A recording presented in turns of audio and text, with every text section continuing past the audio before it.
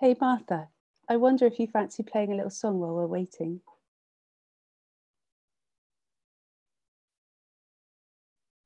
I had just the same thought.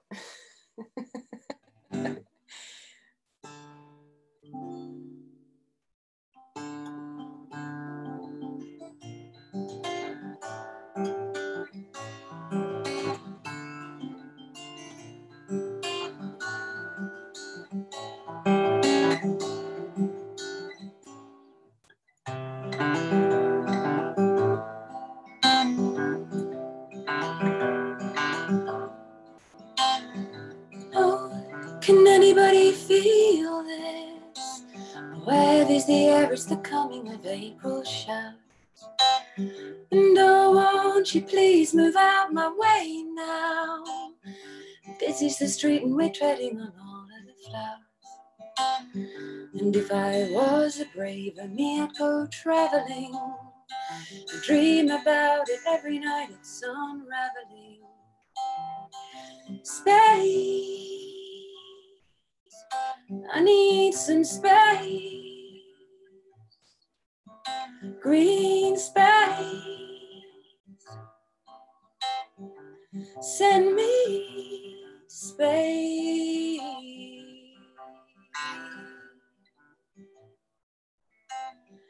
Oh, and every one of us knows this. Where heavy's the load that we carry around on our back. But just where is everybody rushing to? Off to the shops to buy all the crap that we lack. Well, if I was a braver me, I'd go traveling. Oh, I dream about it every night, it's unraveling. Space, green space. I need space. Just some big green space.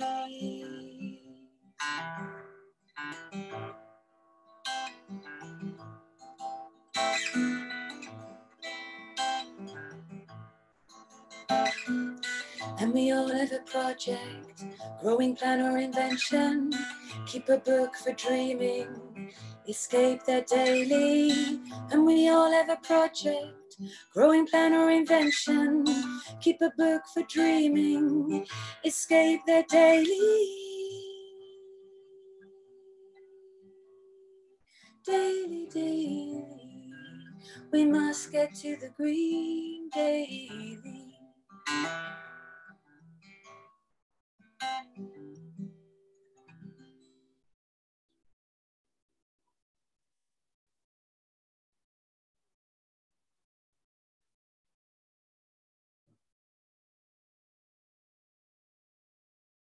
Would you like, should I do a little bit more?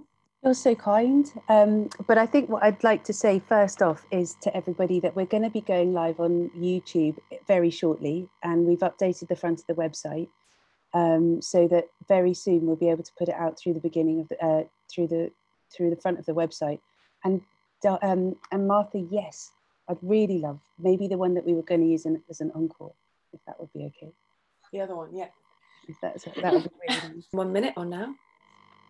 One minute, yeah. Okay. Does um so uh, does the YouTube does the um Facebook know that we're going to start in one minute? Dana, can you tell the Facebook? and um and I'll put it up on the homepage. Yeah, just um, Claire, if you could call Dana, just say, look, we're going to go through YouTube. Facebook's playing games, it's messing around a lot, it's quite difficult. So we're just going to do a YouTube stream. So if she could plug that on the Facebook group and share it a few times, that would be great.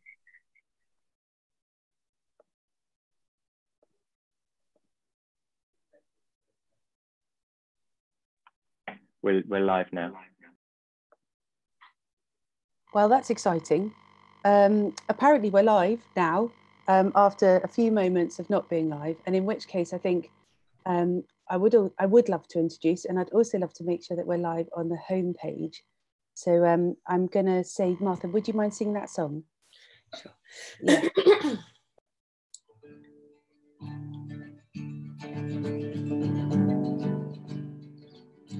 Breathe in and breathe out. Close your eyes just breathe.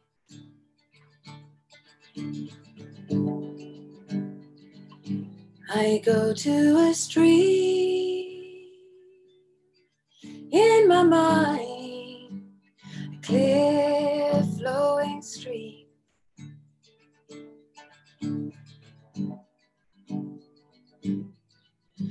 It winds through the trees, all mossy and green. We are but a moment in all that they've seen. Summer will come again, and with it, memories of happier times. We must gather them in. But don't forget to leave room for new ones to begin.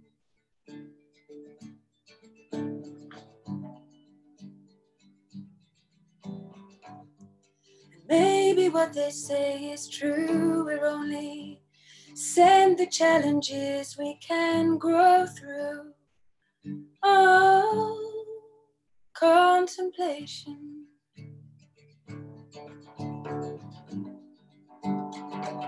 Connected isolation. We're all one nation now.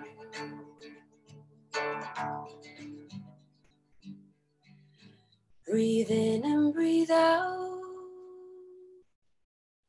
Close your eyes and breathe.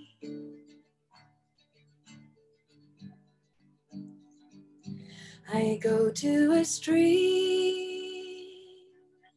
in my mind, clear flowing stream.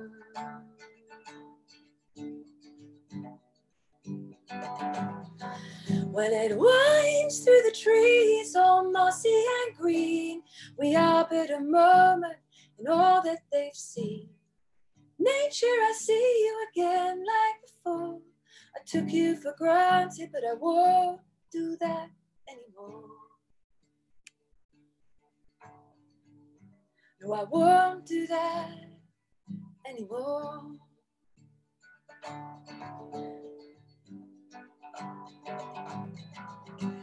The birds are singing like never before. Nature, I took you for granted, but I won't do that anymore. No, no, no, no. I won't do that anymore.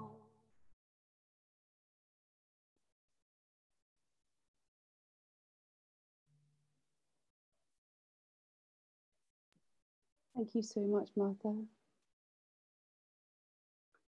So we've been having some faff with the YouTube live stream. We have got a link that does work um, when you put it directly into YouTube, but for some reason we're having a problem with it from the front of our website.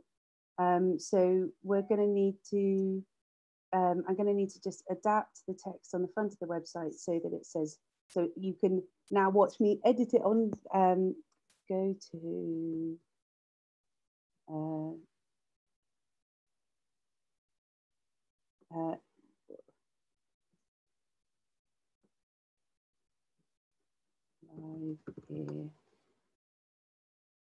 So we can attempt to make it so that everybody knows how to get onto uh, the YouTube. Um, obviously, editing documents while you're speaking on a live stream is not the ideal. So um, I'm going to do my best to do that. And I think I'm going to have to continue now and um, look for support and backup from the lovely team um, to let people know in multiple different fronts. There's quite a lot of um, different options that are coming through. Michael, do you want to just let me know what's happening? Yeah, hi, Suzi. We're live now on Facebook. So there's an audience there. But unfortunately, the Facebook feed has fallen over and it's not working. We're unable to do both right now. So we are live on YouTube. Okay. So then anybody, um, so we need to then support um, those other channels to know how to go to uh, face uh, to uh, to YouTube, and also put out um, uh, on the homepage uh, of the website, and I'll have a look at Yeah, that in a moment. Um, Conference YouTube channel. It's the live video at the top of the page. Okay, great. Well, I'm going to carry on for a bit and then I'll stop and check in. Um, so, my name's Suzi Martineau, uh, formerly Suzi Steer, and I'm the founder of the Tree Conference. That's a one day conference that has been running for four years now. Uh, normally, we have a full day event, and today we would have been having a day in Cambridge um, at the Babbage Lecture Theatre. But in light of all of the crazy changes that have been happening, instead, we're doing a one hour, though possibly slightly longer now, um, broadcast online. And we will um, be, uh, instead of focusing on a full days of, of science and news and practical projects, we're going to be speaking to Glennie Kindred, um, Merlin Sheldrake, and John Tucker from the Woodland Trust. And we'll also be taking your questions in YouTube. So, um, whichever format you're watching this in, if you could now go into YouTube, we can take your questions in the chat at the bottom of YouTube. Um, and you might need an account for that. So if you don't already have an account, you could always sign up for one, and that means that you can give us your questions. Um, so when in thinking about what to do for the tree conference, it felt like the most important thing was to support people at home uh, with the huge amounts of change that we're all experiencing, the kind of loss of identity from seeing people, the desire to be contributing towards the global environment as and, and the global tree population, as well as also this much deeper connection with trees that we've been experiencing as a result of everything that's happened. So today, thanks to Angelfish Films and also the whole team of lovely people like Positive TV that are coming in to support this live stream, as well as all of the different partners, which we can see from the Tree Conference website at www.thetreeconference.com um, and on the Our Partners page. Um, we're going to be asking some questions, and I'm going to go first over to um, Glennie Kindred, because Glennie Kindred is joining us. Um, Thank you. and uh, Daniel, or I think I might be able to hear you. um, so Glennie Kindred is joining us, and um, Glennie, would you like to? Do you feel ready to unmute yourself? Yeah.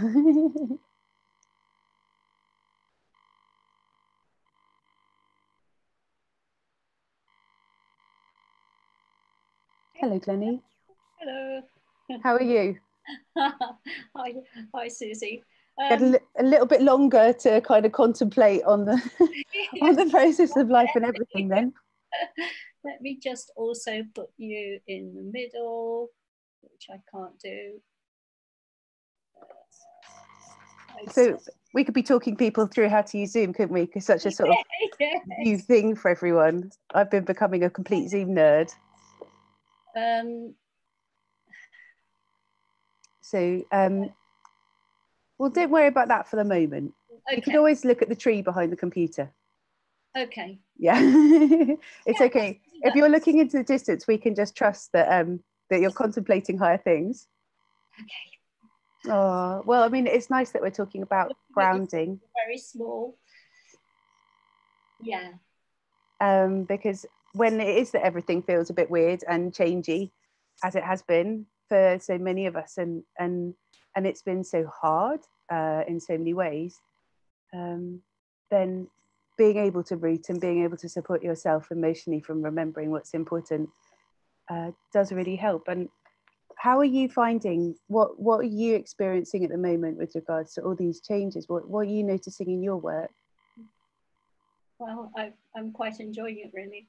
It's giving me time to be, and I think it's true for a lot of people. A, lot of people have, have more time now to, to look and be and um, find out what's really important in their lives and what they really value nature and people, I think, are the, are the two big ones that come up every time. Yeah, I think I think for me too, and I'm noticing also that there's sort of like some key themes coming through with that. Um, so when we think about um, the kind of global situation and the local situation, um, what how how how is it informing your relationship with the sort of sense of a global relationship with trees and our local relationship with trees? How, how do you mean? How's it informing? How's what for you personally? Now that we're having this sort of sense of um, what's going on and and sense of what's important, what's your um, relationship now to to to what we need to be doing around trees globally and um, and also locally at home? We need to be planting more and more trees for start. Um, and we need to be out there really. I, I just think our relationship with trees is undergoing a massive shift at the moment our, our relationship with nature is undergoing a, a massive shift and it means that the old way of looking at the world and looking at, at trees and nature is changing. And we're, we're, we're already in that change. That change is already happening. And we're seeing ourselves not as separate from nature, but seeing ourselves as part of nature and part of the, of the great interconnection of all of nature. And we're seeing the great interconnection of nature and um, it's a time of great remembering, isn't it? As you said the other day, this is the time of great remembering. And we're remembering now how important it is that we are connected to nature and we are we feel ourselves to be part of it because we are part of it and the health of the planet and the health of ourselves is is deeply interconnected and and we know that now Whereas even 10 years ago, there were just people like me talking about it. And people have just been gradually coming on, coming on towards that understanding. And there's been a massive shift. So you're talking, and I realised, but I didn't really properly introduce you. But you've been, you've written some twelve books on working with trees and cycles, uh, with which we featured on the website, but also is on your website, glenniekindred.co.uk. Is that? Yeah, that's it. Yeah. And so um, my experience from you is the book that you've wrote, written with um, uh, wooden books. Um, but there's more, much more recently, there's the Walking with Trees, Walking. and there's the Earth, Path, Earth Pathways Diaries, which are a really extraordinary resource. So you've been talking about the way of working with trees for a long time. Um, what is your personal practice around what that means for you and your mental health on a daily basis? on a daily basis, I have to be out in nature at some at some level. Um, I have a personal daily practice, which um, I, I, I, I like to share, uh, which has grown out of the lockdown time um, when I've not necessarily been so out there, out in my car, going to the woods. This is what I can't, I can't do. I can't go to the woods. So I can walk up the road and get into the fields, but I can't, um, I can't, I can't enter the woods that I love and um, be there. So um, I've started this daily practice of just um, um, so beginning with um, seeing myself as a tree and um, seeing myself as whatever tree pops into my head at that moment. So, you know, I might one day be a mighty oak and be feeling good and strong, and I might one day be a twisted little hawthorn by a brook. It, it, it makes no difference. This is the tree that's popped into my head. So I be with that tree, my tree self, and um, I observe.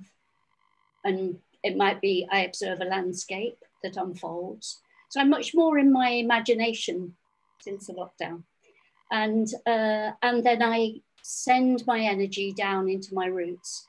I focus on that interface. I love that interface where the the the outer tree becomes where the roots go down into the earth.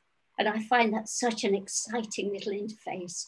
And um, when I'm with trees, I'm always there around that interface. You know, sometimes you get little holes, don't you, that go down. And um, sometimes the trees are more, the, the roots are more visible, they're all on the surface. Sometimes the, the, the, you don't really see where the roots go down. But in, in my personal practice, that's what I do. Focus on the on the, my roots going down. And as my roots go down, I focus on that anchoring to the earth and what it feels like to be a tree, totally anchored to the earth, not running around like we do, but anchored to one spot, sometimes for hundreds and hundreds of years. You know, there's some amazing hawthorns near my house. They must be 600 years old. They're completely wizened and bent and ah, incredible beings. Um, so it's it's about feeling feeling how it feels to be anchored to the earth and and to be part of the earth. And and I think this shift, that's a shift that I make for myself every morning. And it helps me to to see what rises because there's a stilling in that. In an anchoring, there's stilling. And then I can see what rises, what rises into my being, not with my head, but with my roots in the earth. And, and uh, I found that hugely, uh, and, and giving thanks. I do that every day as well. I just give thanks from that place of being rooted in this earth, part of this earth. Mm. I forgot what the question is now, but so I think you've answered it beautifully, and also it really sort of it, it really highlights the the difference between the um, the what a, a tree needs to root um, and in past videos in the tree conference, which you can see on the website and on the YouTube channel, we've got um, the work of Martin Bidartondo, who's explaining how um, the effect of excess nitrogens really affects soil health uh, and the mycelial networks, and therefore the tree is unable to um, root so well in the sense that it cannot take, receive nourishment so well because the mycelial networks are destroyed.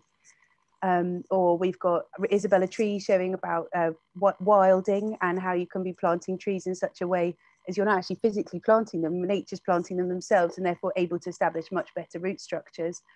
And also um, Dr. Alan Rayner, who uh, came to the first tree conference and did an amazing job of helping us to see from the perspective of the, um, the fungi more and understand what they teach us about uh, about the real about reality. Um, and we will go on to talk to Merlin Sheldrake in a moment, who's going to give us uh, a, an amazing way of being able to understand that from the roots perspective. But what you've really helped us to do is anchor in to the, the benefit for us as humans to uh, be relating to trees for our mental well-being uh, on a daily basis in order to feel sourced and replenished in such a way as we can handle the rough weathers of change that are happening at the moment. So I'm really grateful. And I'm conscious that when we spoke before, we were talking about what does that mean that we can learn from how trees work. And um, one of the things we were, we were talking a little bit about community and adaptability, and I wondered if you wanted to say something about that. Mm, well, trees have been here a very long time, a lot, a lot longer than we have and we're just the little the little brothers and sisters really. And trees have adapted time and time and time again to climate changes and uh, conditions their living conditions. And i think you know we are at a point of adapting. And as humans i think we're very good at adapting. So that gives me great hope for the future. The other thing we can learn from trees is living in community and I think that's another lesson that everybody is starting to realize how important their communities are. And uh, trees live in community, they help each other. You know, I, I was brought up to believe that everything, everything was in competition with each other. And of course, all of that's been blown open now. And we know that trees live in community, we know that trees help each other. And that is the way forward for humans as well. So if we can adapt into, into that, cooperating, um, finding our finding our connectedness with all of life. That's our way forward because that's what trees do. and I love the feeling that, that a lot of that's coming down through the roots, the feeling that you're rooting down and you're from within the earth, you're connecting to your community. Mm. Mm. And um, I would, I before we move on to speak to Merlin, I would love it if you could give us some examples of practical different tree species that are ones that you would be connecting to, particularly at this time of year, um, and also ones that maybe relate on a medicinal basis or yeah, so some practical examples from your books, because I, I really think there's no way we can do justice to the amount of knowledge that you have gained in working with trees over the time that you have. But I really would love people to know that they can go to your books and that they can um, and go to the website and go to your um, Earth Pathways diaries for understandings about the cycles. So yeah, would you like to talk about some specific trees? Well, I'd like to say that whatever I say is not it because it's all down to your relationship with the trees. So really spend time with trees and go out and sit with trees and, and walk with the trees with a with a, an awareness of the trees beside you and an awareness of trees in your life and what they give to us on an everyday everyday basis. Um, but at this time of year, up here in Derbyshire, um, the beech leaves are unfolding, and I absolutely adore the beech. I adore all the trees, but the beech leaves, when they come into leaf, they are so perfect and they're so fine. They're like skin, they're like fine skin, and um, I, I eat them. I I collect them. I talk to the trees and I collect the, their leaves. And um, at the moment, I'm a bit short of salad stuff with the, with the lockdown, and so I've been eating a lot of tree leaves. Um, so beech beech leaves are absolutely. It lasts for two weeks maybe. Um, I haven't got any gin. I might make some gin, the beech leaf gin if I had some, but I haven't this year. Um, uh, hawthorn leaves, absolutely prime for our circulation, for our hearts, uh, for older people, because it, it increases circulation to the brain. It's very, very good for us to, to eat um, or make tea from um, hawthorn leaves. Good to collect this time of the year while they're really fresh just before they come into flower. It's perfect time. So I've been collecting those and I've been collecting birch birch leaves, also incredibly good. They're, they're, they're, they're a great tonic. They clear out the old, they, they, they clear out our systems of any, any nasties that might be stuck in there. So they're really good too. Um, uh, so I've been collecting those. And the other thing is the elderflowers. Now I imagine down in south in the south of the country, the elderflowers are just coming through. Not quite. Not where i am not quite but I'm really kind of get i'm like come on guys come on. And and those two are are hugely beneficial for us. Stress and anxiety. I've just had a little cup of elderflower tea before i started. The very last of my collected dried elderflowers from last year. But the new are almost here so i'll collect some more but collecting from from nature, collecting from the trees, it creates a bond. It creates a relationship. Um, it, it, it, it creates um, you, you know you, you you do you get to know the trees it's not the trees aren't something over there there's something that your heart you give your heart to them and, and, you've also named a lot of the smaller trees so often people think about the really big trees and oh they're the really fun ones but actually those um those more scrubby bushy yeah. Uh, smaller trees got yeah. a lot to give in terms of fruits, nuts, and and obviously elderberry, which I thoroughly recommend for a winter tonic. Yeah. Um, as having antiviral properties, which is yeah. relevant, though I'm not suggesting that that's a cure for COVID. Well, yeah. thank you so much. Roaming, roaming the hedgerows is if you've got hedgerows to roam and roaming, rambling, take going wherever your your your your heart is pulled um, is, is a great tonic for, for this time. And for listening to yourself and listening to the earth. Yeah. Thank you so much, Glennie. Thank you. Thanks. Uh, so Glennie will stay with us for the rest of the call and if anybody has questions that they want to put in the YouTube chat or in Facebook then we can um, ask those to Glennie in a bit. Um, thank you very much. Um, I really recommend people get buy Glennie's books. They are an excellent, excellent resource. Um, and I would love now, if it was possible, to speak to Merlin Sheldrake. Merlin and Glennie, do you mind muting yourself now?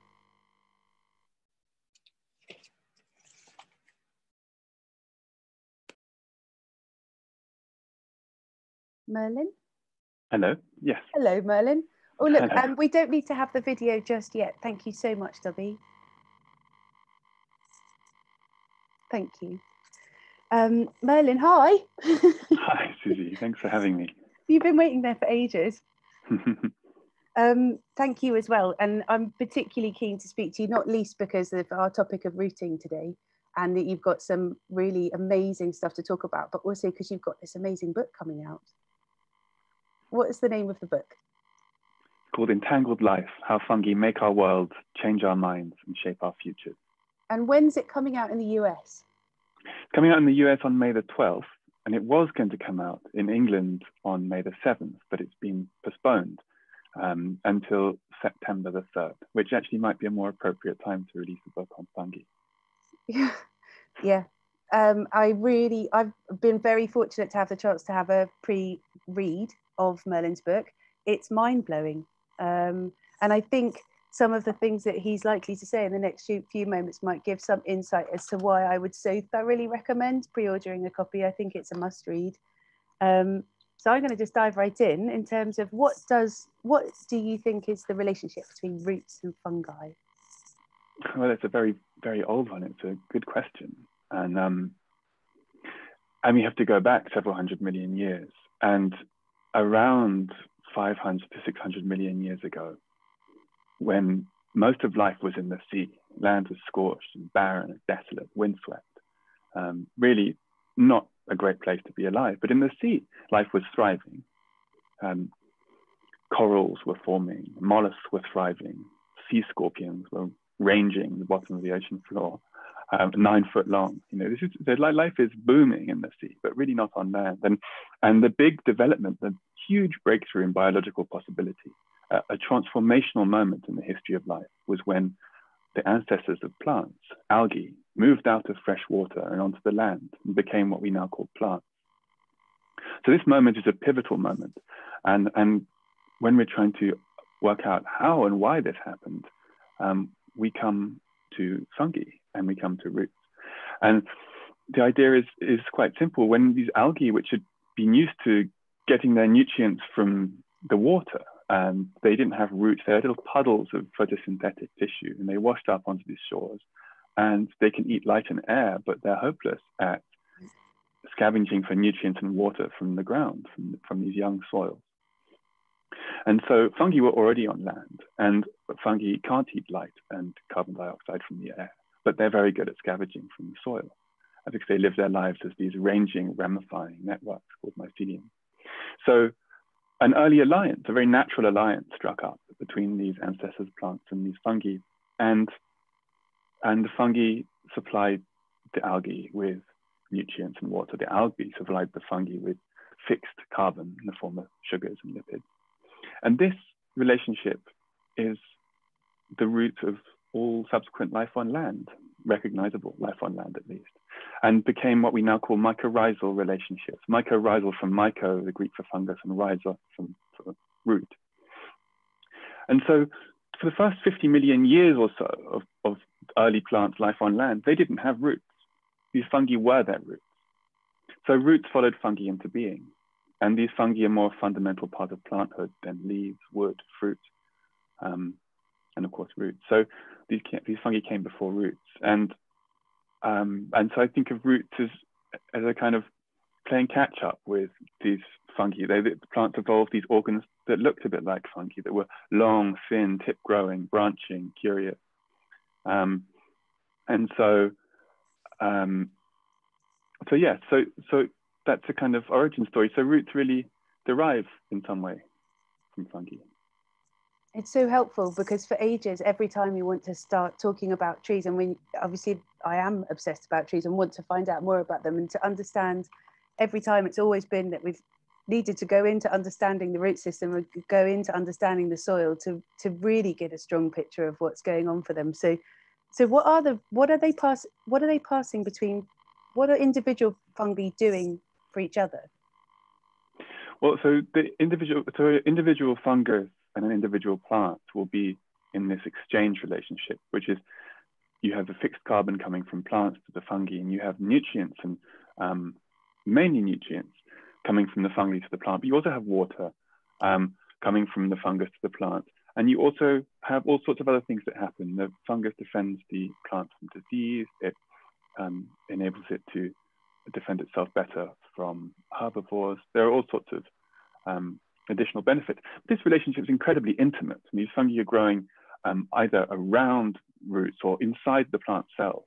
And um, it's about as intimate as it gets. And this is where this video that I'd like to show comes in, where I, I got this by scanning roots that I'd collected in the tropical forest in Panama, where I was working. And by scanning these roots with lasers, I could reconstruct a three-dimensional scan of the root with the fungus in one color and the plant in another color. And so this video gives us an opportunity to actually travel inside a root, which is something I've always wanted to do and I've been able to do in my dreams.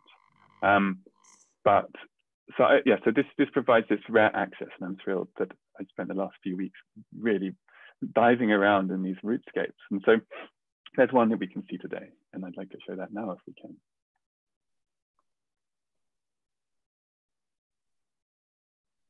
So the plant is in blue here, and the fungus is in red. And you can see these, the fungus, this type of fungus is mycorrhizal fungus swells into these kind of bladders within, um, within the plant cells and burst, releasing their contents.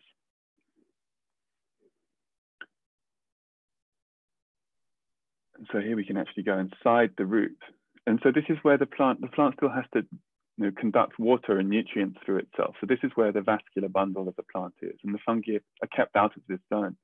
So the fungi really are kind of organ of the plant. The plant is actually an organ of the fungus as well. You can think of it like that, as this reciprocal, um, intimate dependence, um, but carefully regulated and carefully controlled. Um, it's not just a willy-nilly infection of the plant root.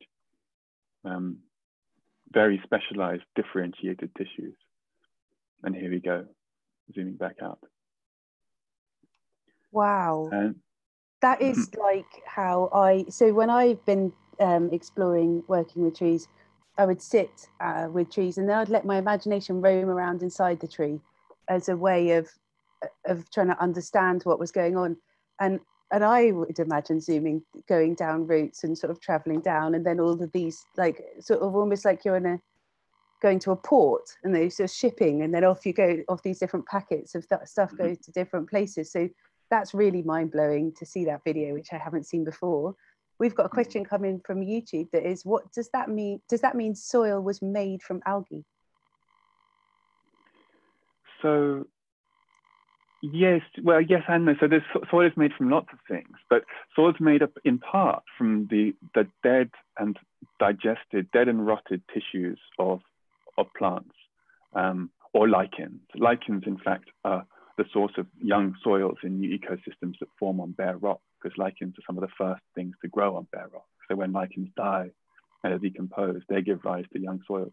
But soils are also formed when um, fungi and these mycorrhizal fungi use acids and high pressure to burrow into solid rock, releasing all sorts of minerals. And so there's a mineralization of rock that gives rise to soil. And there's also, and that's a sort of inorganic component. And then you have the organic component, which is the, the dying and decomposition of, of plant material and um, algal material.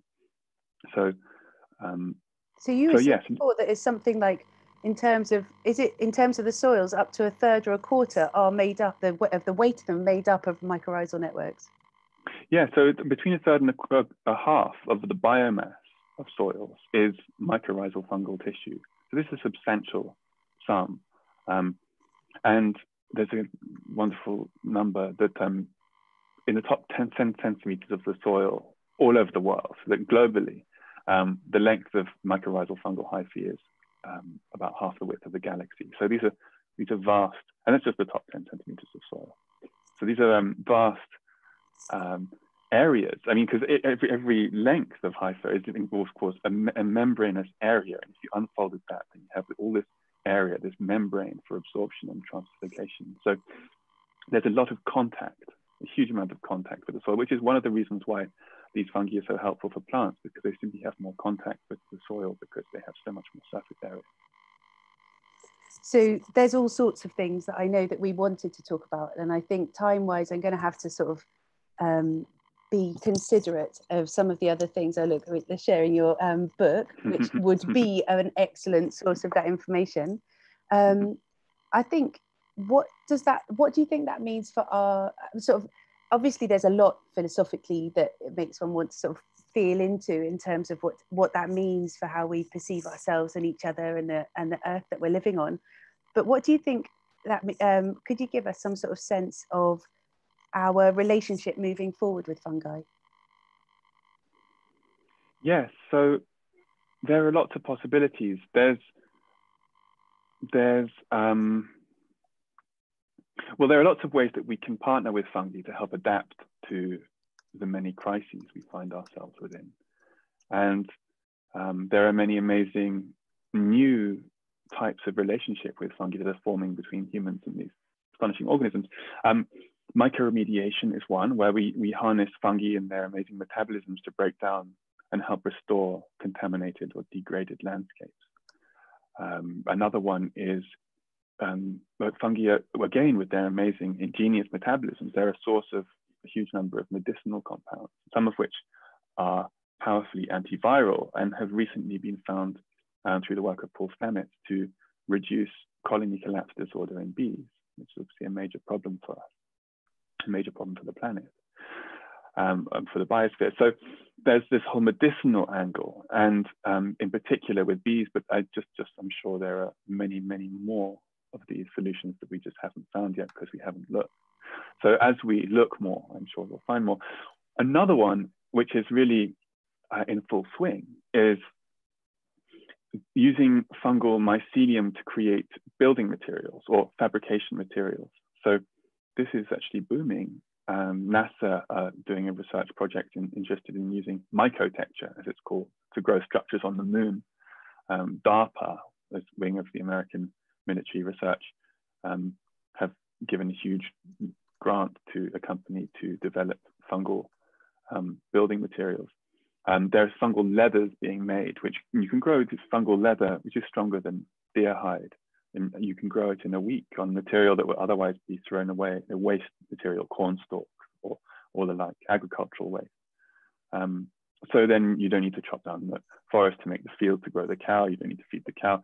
I mean, this is huge savings ecologically um, because we're using a waste product to grow a valuable product. So it's a win for the waste producer, it's a win for the cultivator, it's a win for the fungus um, because we are going out of our way to divert hundreds of tons of waste material into their ready and waiting appetites. So micro, yeah, mycotecture and mycofabrication, that's one other very exciting new avenue. Thank you very much, Merlin. And um, what I'd like to do is um, give uh, the other speakers, if they would like to ask a question of Merlin, I wonder um, if there's anybody else, if there's anyone else in the from the speakers who has something that that that, that they would like to ask. Uh, John Tucker from the Woodland Trust. I'd like to introduce John Tucker from the Woodland Trust, who's participated in all of the tree conference live stream um, conference panels um, over the last few years and uh, is the director of woodland creation. So that's, I mean, John, is that like 30 years of experience of plant of woodland creation in the UK? um, more than that, I'm afraid. It's nearer 40. Um, hi, Merlin. That fascinating um, talk. I'm really interested in how we can use mycorrhizae, mycorrhizal fungi much more to help improve our woodland creation work. So if we're doing sort of um, trying to create woodland on very, you know, relatively impoverished arable soils, for example, you know, is there a role for using um, fungi as part of that establishment process to make, you know, the woodland better, quicker? It's a really good question, and I'm afraid it's not a simple, simple one. Um, on the whole, you know, whenever a wood establishes itself, there are going to be fungi involved because they're so fundamental. And the question is, can we, I guess, can we accelerate this process or, or guide it in such a way that it happens more quickly? And in principle, yes, it's absolutely something that can be done. In practice right now, it's not so straightforward. A lot of companies sell mycorrhizal inoculum, kind of generic mycorrhizal inoculum. Um, it's a bit like the booming market in human probiotics. You know, these strains that you see in these jars, usually they're kind of dead listers in your gut, but they're sold in jars because they're easy to produce in manufacturing facilities. They're easy to culture, and we've someone sequenced them or, or their genome or their model organism or some. There's a number of convenient reasons why they're chosen, rather than because these are the fungi that need to be in this place at this moment in the successionary process. So it's a question, I think, of um, being sensitive about how we choose to add these species if we do choose to add them. But it also it can be simpler to just to encourage their growth by, by paying attention to the health of the soil. So lots of organic matter generally does mm. good things for mycorrhizal fungi. Um, inorganic fertilizers generally do not so good things for mycorrhizal fungi. So by attending to the health of the soil, I think we can, by proxy, support the natural regeneration of these fungal communities without necessarily having to import and add with all the difficult decisions and possible um, fallout from those decisions that that would entail. So that, I think that's the simplest way forward. But I think a lot more research needs to be done on because there's an ecological matching of these communities, plant communities and fungal communities. And if we don't know that for this place, then we're working blind. Yeah, yeah. And I think that's one of the things that's really exciting about having you on, Merlin, because you know, I know you're not supposed to sort of ask a woman her age, but like you are a relatively young comer. You've sort of qualified um, from your doctorate, or is it a doctorate or um, you know, yeah, your doctorate uh, not that long ago, and yet you kind of burst onto the scene and been able to create a huge shift in people's understanding or or highlight the work of other people as well who have been contributing in this field to a huge shift of understanding of perspective. And it really shows that there's so much out there still to be learned, to be understood about both trees and soils. And, and what a massive invitation that is to the next generation and to people looking to study now, because there's it's all to play for. Mm -hmm. Quite right. Yeah, it's a thrilling field. And um, there's just so, so many questions that aren't being asked. Um, so all these low-hanging questions. It's a, it's a fun place to do research. Thank you. Thank you very much. um, so I am a bit of a nerd and I'm going to try and relatively stick on time, even though we started late. I've got a question coming from Daniela Castell. Um, how do you eat the beech leaves, raw or in a salad, Glennie?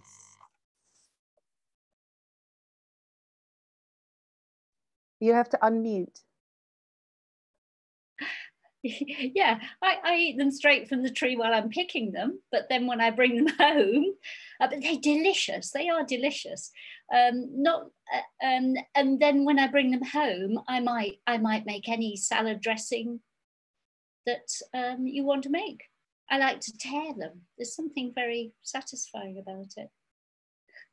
Sounds quite brutal, actually, Glennie.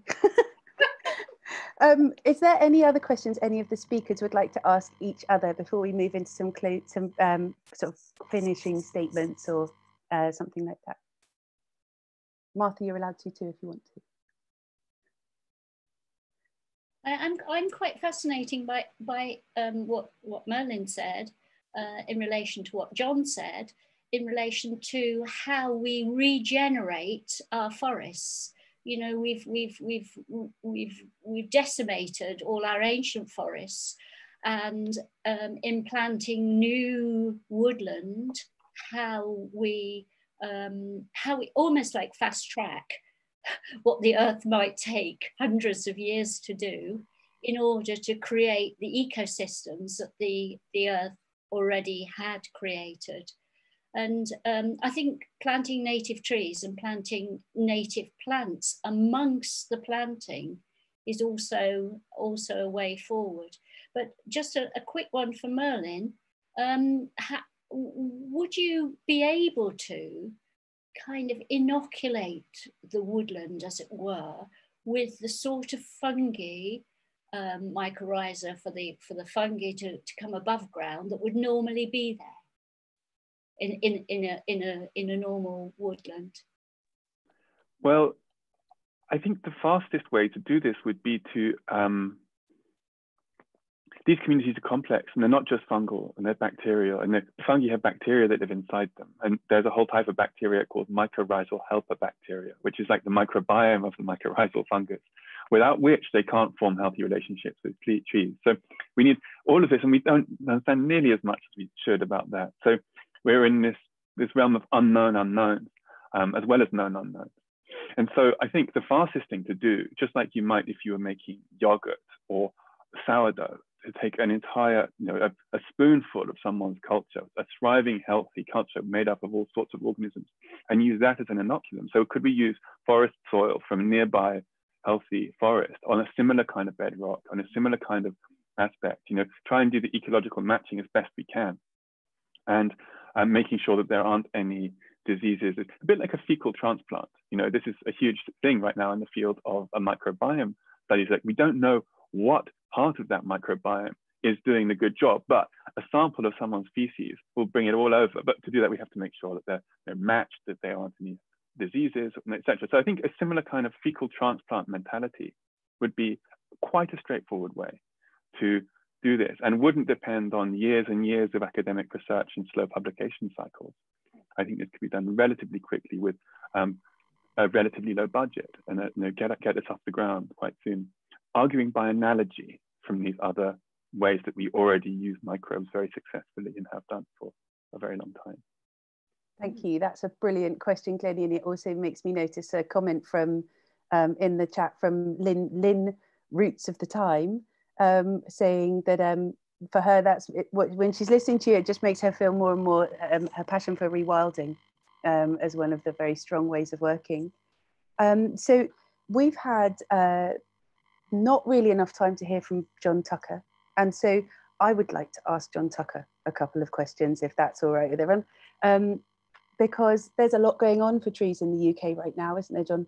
Um, yep. We've got yep. several um, major planning issues um, with regards to both HS2 and also the Cambridge Oxford development. And I know Woodland Trust have been very active, and I know that there are a lot of people out there who care passionately. So I wondered if you'd like to just say a little bit about um, how Woodland Trust is looking to move forward with those and, and with other uh, landscape developments. Yeah, just to pick up on what Glennie said about, um, you know, the, the importance and the value of ancient woodland and the phase one of HS2, which got planning permission last year, is going to have a, you know, an impact on 32 um, ancient woodlands. So they're going to be um, impacted on and cleared as part of that, that work. Um, we, as an organisation, have fought that along with a lot of other organisations and individuals. Um, but planning permission was granted um, finally last year, and phase one enabling works have unfortunately already started. So it's kind of they've used the lockdown when it's quiet to get started at a really completely the wrong time of year for that work. And we've already had a number of reports from activity going on when it shouldn't be. Um, so, you know, we can only ask people to monitor what's going on, to let us know if they see this happening, or to get on to their local MP or to HS2 themselves. Um, the Oxford and Cambridge sort of arc growth area um, is one that's coming up on the horizon. Um, plans for an east-west rail route there are going to impact on woodland. So we're working with a whole range of organisations, wildlife trusts, RSPB, um, to try to present what will be a you know a green approach to creating that that link. Um, but it's early days there. Um, so how know, many woodlands are affected by that one? Oh, it's really difficult to say at the moment because we're we're looking. You know, it's very difficult to see good quality maps of the area that's going to be impacted on. Um, it's just been given in a sort of a, a very generalist view at the moment. Um, but you know, but it's not. I, those are examples where there are negative impacts. I think um, there, you know, I, I've been in this business for gosh, forty odd years now, um, and the last 18 months have probably been the most dynamic that I've known in those 40 years for trees, you know, and it's been fantastic to see. Um, people have said, you know, we've got, you know, even with COVID coming along, people have got more time to look around.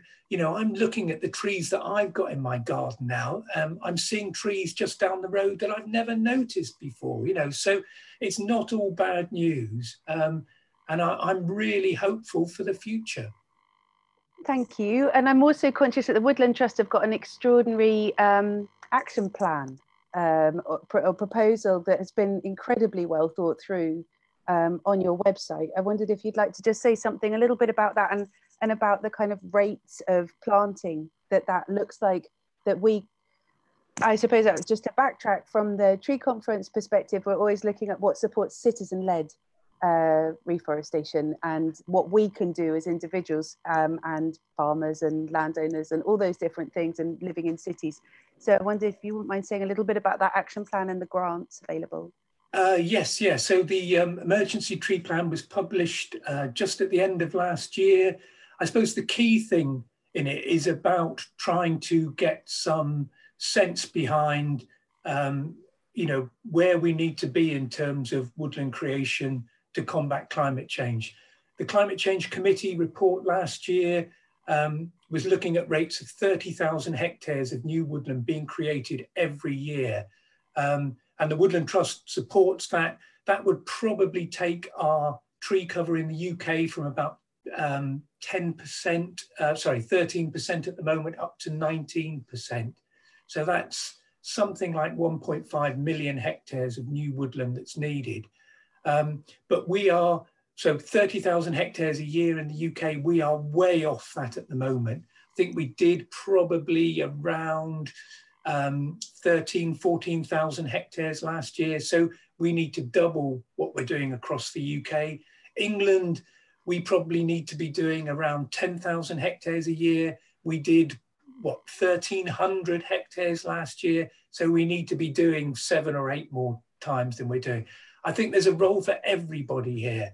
You know, if you've got room in your garden, um, you can plant trees. If you if you haven't got a garden, there are local community groups that you can get involved in. Um, landowners, you know, farmers can plant hedges, infield trees, areas for new woodland. So I think there's a role for everybody. Um, if they go onto the Woodland Trust website, there's some great information there about grants, about schemes they can get involved. Um, we have a fantastic free tree scheme for schools and communities um, where you can apply online and get up to 400 trees free for your community. So there's something there for everybody. We've all got a role to play. Thank you. And it also really makes me think in terms of bringing it back to roots is that sense of um, also if we can expand, if we can support uh, a wider area, wider berth around, particularly existing old oaks. Um, quite often there's this situation where people plough right up to the trunk and actually yeah. now with our under, deeper understanding of the requirements of trees roots um, and their need for, for to not have excess nitrogens um, you know right uh, in their in their root structures and uh, and needing to have uh, I think the diameter it, uh, the, the radius from the canopy is something like 2.5, an oak will reach out further. Um, we've got a few more questions coming in. There's also lots of um, different projects on the tree conference website. And if you have projects, if you know of projects that are going on that you think are really worth highlighting, we'd really love you to get in contact with us through the tree conference website um, or info at thetreeconference.com and let us know so that we can put more uh, projects up on the website. So we've got um, a suddenly a flurry of questions come in. Um, and uh, I'm going to just take a moment to read them. So, someone, someone's suggesting that we should maybe sensibly be putting our poo on the land as a safe, so which is which is val valuable and potentially a thing. Um, I'm interested in research on the effect of herbicides and pesticides and mycorrhizal fungi can I recommend that you go to the YouTube channel and look at the work of Dr. Martin Bidartondo Um, they were lucky to have a European research grant and they were some of the only researchers, scientists in the world who were back to do this research. So he really is one of the most extraordinary scientists to hear. And there is a full hour um, video on the tree conference website. Is there a way to combine the practice of rewilding with the planting of new native trees from John? Yeah, I, I think that's a really a great question.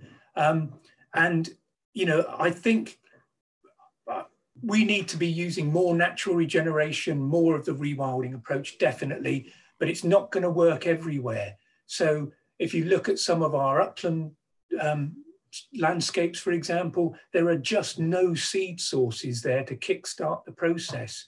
So you would need to start to plant some trees um, just to, as I say, to start that process. But I always think when you're planting a wood, that's just the start of the process. That's not how it's going to end up. So you want to create a space where nature can then sort of add its dimension to it in terms of birds bringing in other seeds, um, the whole of the fungal development that Merlin's talked about, that can start the process. So yeah, combination of the two is brilliant and I suppose a big question, which is also coming from Delia, is if you don't have a garden, um, how do you get a, uh, how do you go about either um, um, sourcing land or or contributing towards um, planting projects uh, on on land? Yeah, so there are um, there are a number of really good community groups that are out there at the moment that are operating. Um, we've been talking with some really interesting projects, Stump Up for Trees in the Brecon Beacons, um, where they, they aim to plant a million trees um, across you know, the Brecon Beacons area. So they will be talking with local farmers, other landowners to try and create um, areas where they can plant trees and they will need people to help them plant. So those are the sorts of things that you can get involved in. But look around local community groups, um, sports clubs, um, hospitals, they've all got land that we, you know, we could get more trees uh, established on. Thank you very much. Oh, one more from Glennie, and then I'm going to have to. Um, I think we should we should uh, wrap up. And so I just wanted to um, say about Tree Sisters because we can all donate a very small amount of tree to Tree Sisters every month and uh, the, every everything you donate to Tree Sisters goes into planting trees, and it's a very small amount. It's a it's a cup of coffee a week, and um, they're doing fantastic work. And they've just planted ten. They've just reached ten million trees planted, and that's all from people's donations. So it's it, and it's a beautiful organisation, and they give back a lot, as well as giving to the earth and the trees. Thank you. And that's it. Obviously, they're planting in the tropics.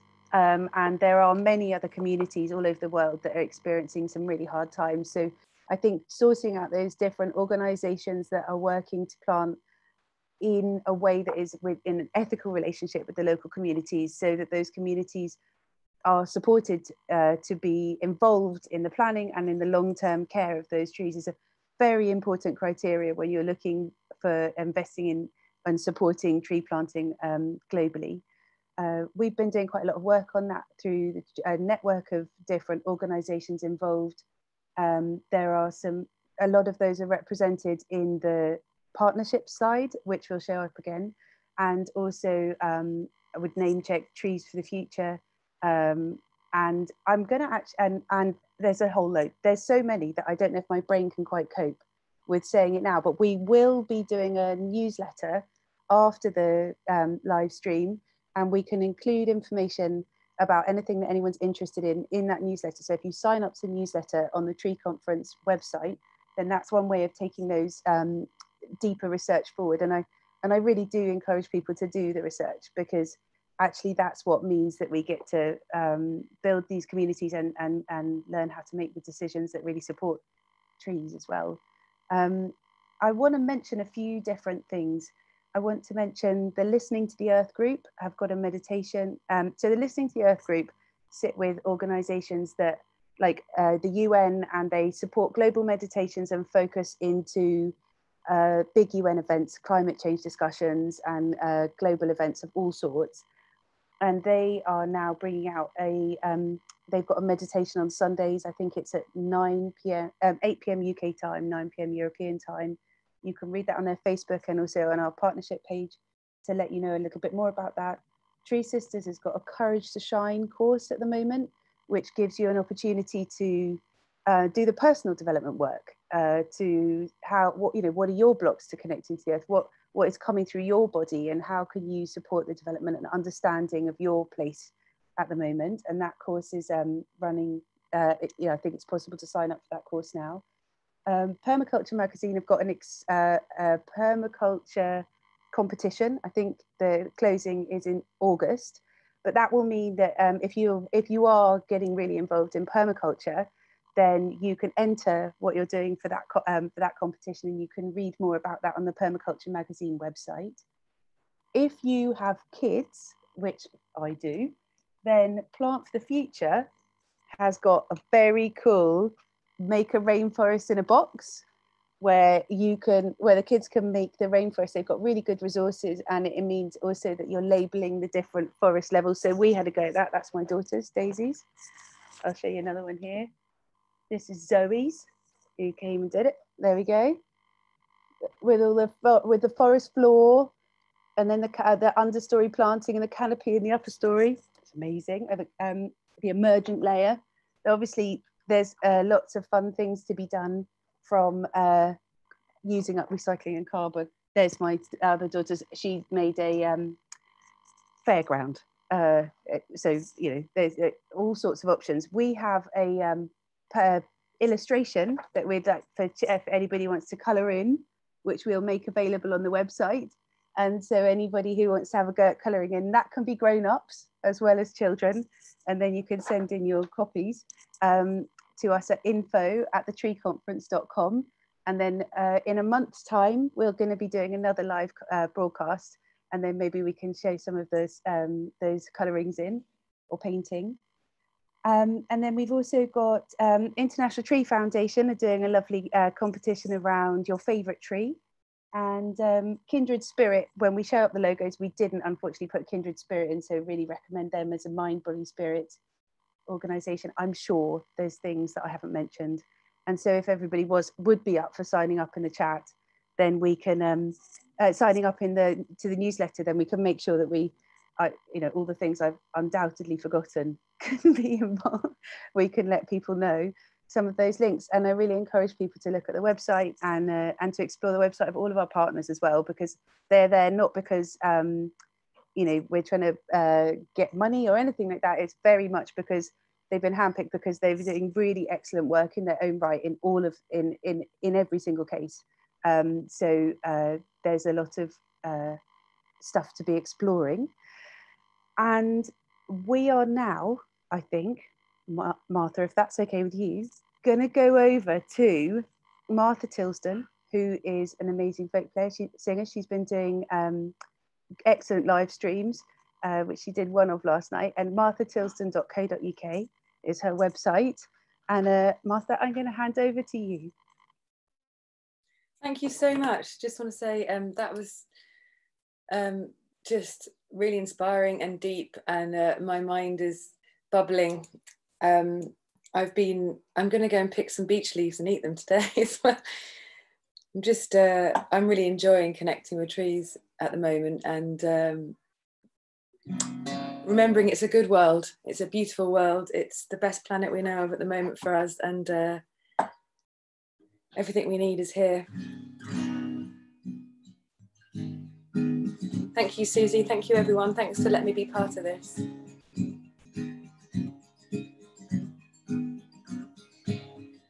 Everybody's saying that there's no hope on earth. We should build a spaceship and perform the next rebirth. Blast away into the blackness in search of carbon worth. Just one leaf of what we have here. Yeah, we got it all here. Everything we need is here. We have it all here. But everybody's saying time is running low. So I'll meet you in the supermarket, panic buy, and then down below into our bunkers like rats in a cave. No, I'm gonna stand in the middle of the forest. I want to feel brave, yeah, I need to feel brave. This is something we can save, I mean, really save. This is a good world. It's a good, good, good, good world. Oh, I think it's a fine world. It's a fine, fine, fine, fine world. And nothing maybe if we sing this over and over again now. Like a mantra, it will manifest somehow. So it's a good world, yeah, it's a good world. It's a good world, it's a good world. Everybody's saying time is running out. We should build a time machine and clone ourselves when we run out of the perfect people. By the way, that's not you or me in any way. I disagree. I disagree. This is something we could save. This is something we could save. I mean, really save. Cause this is a good one. It's a good, good, good, good one. I can hear my kids jumping around upstairs. This is a fine world. It's their future too. This is a good world. It's a good, good, good, good world. And please remember this in amongst all the maps. Such a fine world. It's a fine, fine, fine, fine world.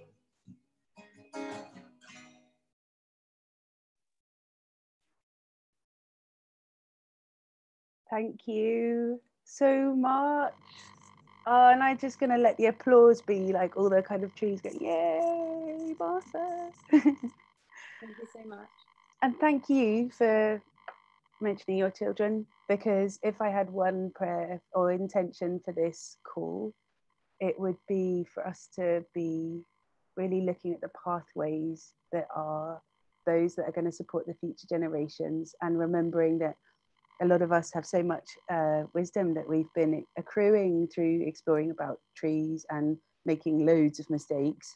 And um, our intention for these for this call and for all future calls is to be really supporting the next generation and those youth and those scientists and those next generation of planners and architects and everything um, that we can be putting the earth and the earth community at the center of every single decision and system in such a way as to have a fine, good way forwards. Um, so thank you very much. I am sure there's lots of things I haven't said or remembered, but I'd like to say now thank you very much to the whole team and crew of everybody who've been putting this together, all of the different people watching and all of the things that have meant that you've been able to watch. And um, we're going to, I think, put the logo slide up, but maybe if Martha, if you wouldn't mind just playing us out while we generally have the logo and just, just sort of tap down. I do the breathe in, but I do the meditation for for us through this time of the trees again? Is that right? Yeah, and um, and, and we what we might do is um, we might start uh, in a moment when it feels right to Dobby. We might put the partner slide up because I just it really might I really it matters to me that people see those different organisations. So maybe Dobby, you could sort of get the right time for you um, when after Martha started. Okay.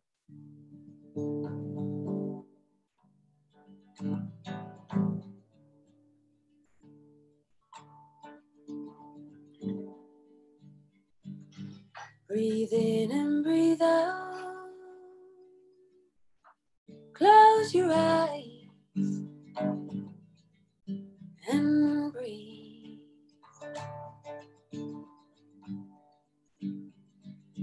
I go to a stream in my mind, a clear flowing stream.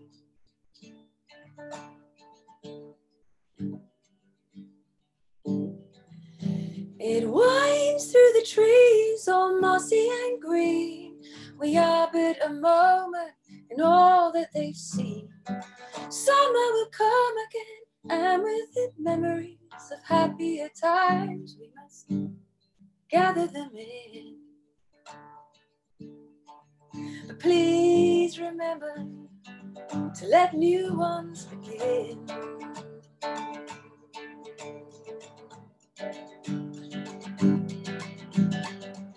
So maybe what they say is true. We're only send the challenges we can grow through. I don't know, or contemplation.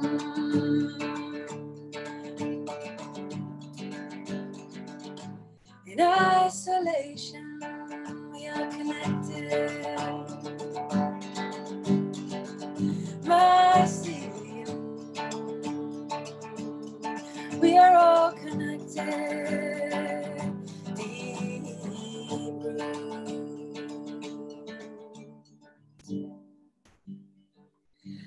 Breathe in and breathe out.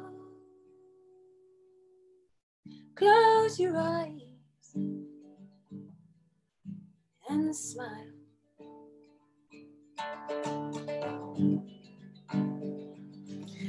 I know this dream I go to my mind, and it's a clear flowing stream.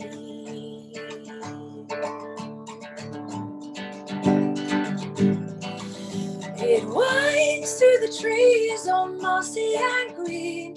We are but a moment in all that they've seen. Summer will come again and with it, memories of happier times. I'm gonna gather them in.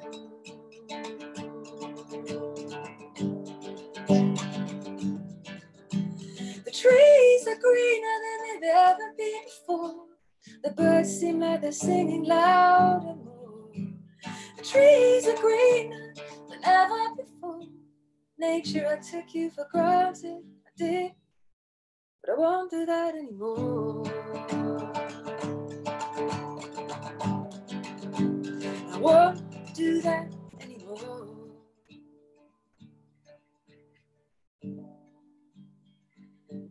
Breathe in and breathe out.